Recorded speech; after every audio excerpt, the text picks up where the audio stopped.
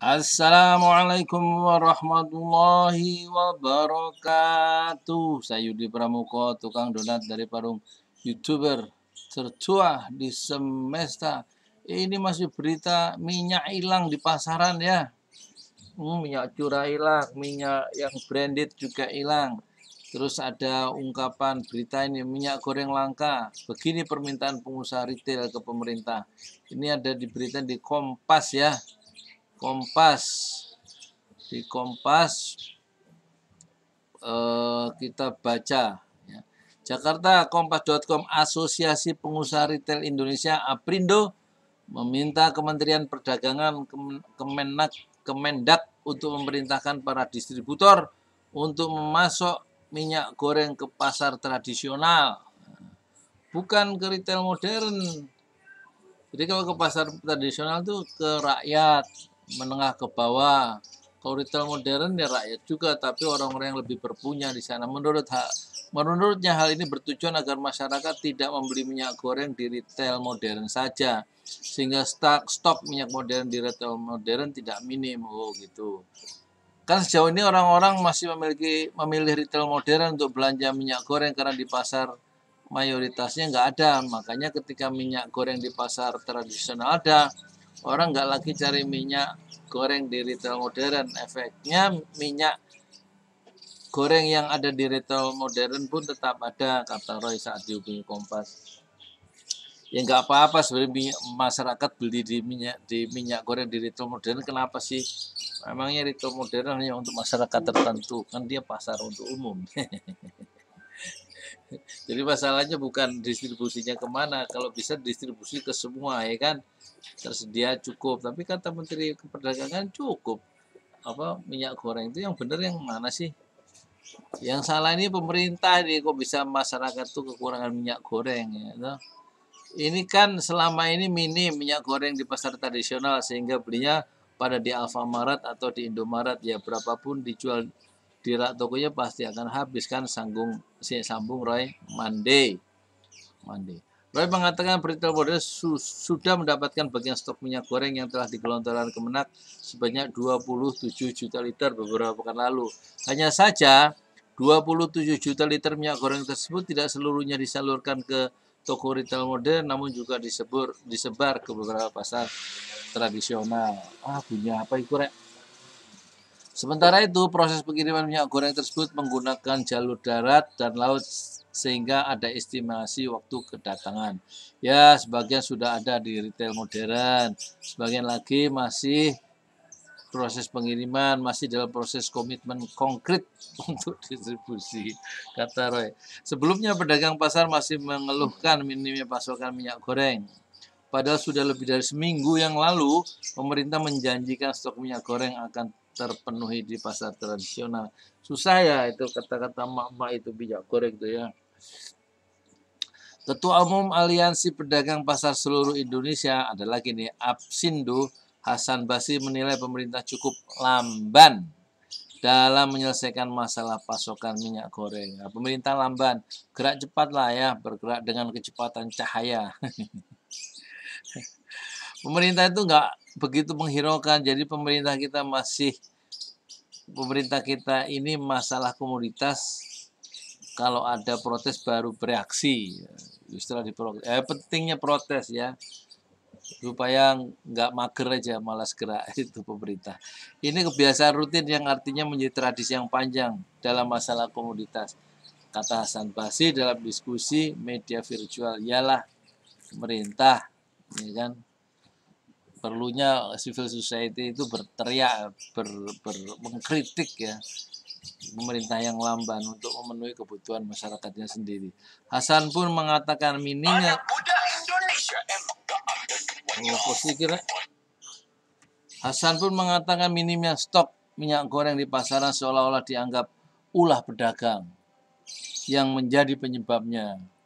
Belum lagi harga minyak goreng di pasar juga masih belum turun. Minyak goreng mahal itu yang dipermasalahkan pedagang. Sementara kita pedagang ini kan hanya menjual dengan keuntungan yang sangat tipis. Apa iya?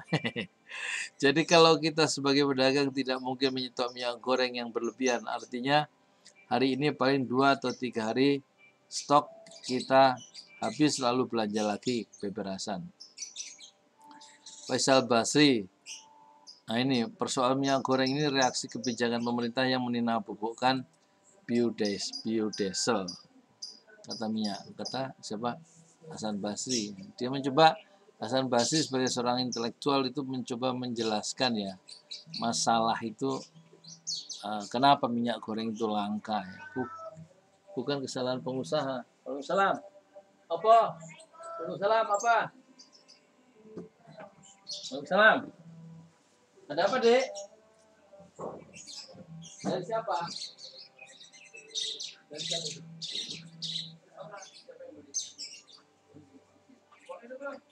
Oh, gorengan, Pak. Hah? Gorengan. Oh iya, gorengan. Buat itu nanti. Pak Dino. Mana Pak Dino? Hmm. Cucunya itu. Tuang-tuang-tuang. Ada minyak goreng, eh, minyak goreng, gorengan. Ekonom senior Faisal Basri menuding polemik Bismillahirrahmanirrahim yang terjadi pada minyak goreng mulai dari mahalnya hingga harga hingga mahalnya harga hingga kelangkaan stok adalah ulah pemerintah sendiri itu bukan ulah pengusaha dia menilai perusahaan minyak kelapa sawit jelas memilih memilih menjual produknya ke produsen biodiesel dibandingkan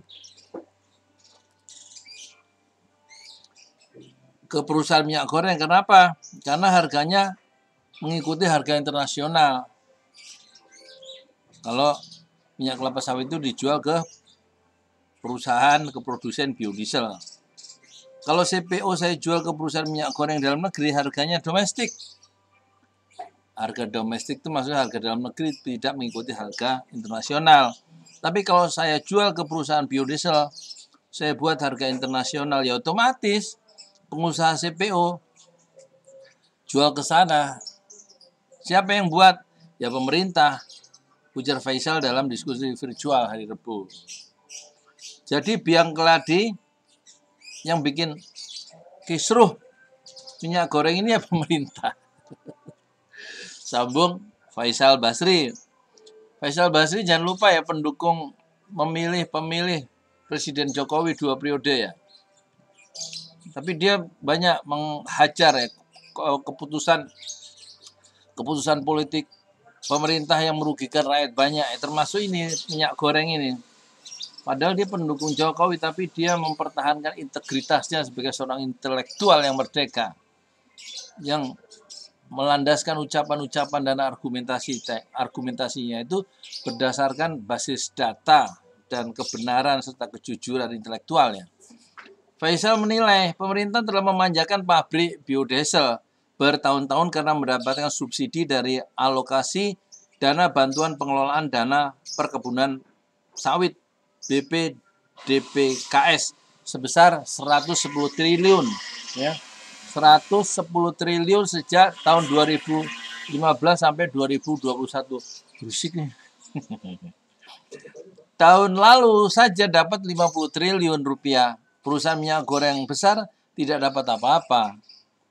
Ya. Perusahaan minyak goreng, tapi perusahaan produsen biodiesel itu dapat 50 triliun sehingga persoalan minyak goreng ini reaksi ya kebijakan pemerintah yang meninabubukkan biodiesel. Beber Faisal Basri. Ucapan seperti ini nggak mungkin ya bisa disampaikan oleh seorang gubernur Edi Rahmayadi yang akan memproses ya secara hukum penimbun apa itu penimbun minyak goreng itu persoalan lain tapi akar masalahnya ya di peraturan pemerintah itu menurut Faisal Basri ya belum lagi kata Faisal, sekarang pemerintah saat ini lebih mengedepankan kebutuhan untuk energi ketimbang untuk urusan kebutuhan masyarakat. Makanya buat energi dimanja, ya. Buat perut tidak dimanja, maksudnya buat rakyat tidak dimanja. Ungkapnya, jangan cepat-cepat menyalahkan pengusaha. Kata Faisal Basri. Mengapa? Karena pengusaha tidak dilarang untuk mendapatkan untung. Tentu saja pengusaha akan mencari bidang yang untungnya lebih besar, lebih banyak ya untungnya. Ya, lebih banyak kalau dia jual ke biodiesel. Tuh. Itu kata Faisal Basri dalam diskusi virtual tuh. Dimuat di Kompas. Sudah empat bulan masalah minyak goreng mahal belum juga terselesaikan ya kan sudah empat bulan ya jadi yang jadi biang keladi kisruh minyak goreng ini sebenarnya peraturan pemerintah sendiri yang mendahulukan apa memanjakan perusahaan biodiesel perusahaan produsen biodiesel ya. Banding ke produsen minyak kelapa sawit ya. Jadi moga-moga ini jelas ya berita-berita dari perspektif dari seorang intelektual ekonom senior Faisal Basri yang bisa menjelaskan kenapa minyak itu langka dan mahal ya, 4 bulan terakhir ini. Akar masalahnya adalah pemerintah yang mismanagement ya yang memberikan satu apa itu tadi yang triliunan-triliunan itu kepada pengusaha biodiesel ya bukan kepada produsen minyak goreng tentu pengusaha minyak goreng lebih memilih mencari uh, eh, CPO-nya menjual CPO-nya ke perusahaan biodiesel karena harganya harga internasional sedangkan kalau pengusaha kelapa sawit menjual ke perusahaan produsen minyak kelapa sawit eh minyak uh, minyak goreng tentu harganya harga domestik. Itu jadi wajar kalau dia mencari keuntungan lebih banyak. Basisnya masalah ini masalah yang merugikan banyak masyarakat ini basisnya adalah politik ya. Ya peraturan pemerintah itu menurut Faisal Basri yang harus direvisi kira-kira begitu terima kasih. Mudah-mudahan kita bisa tetap menjalani hidup dengan penuh semangat. Kita boleh kehilangan segalanya kecuali keimanan dan harapan. Saya Yudi Pramuko tuang donat dari Padang YouTuber. Tercua di semesta Fasbir Sobron Jamila. Bersabarlah dengan kesabaran yang indah. Assalamualaikum warahmatullahi wabarakatuh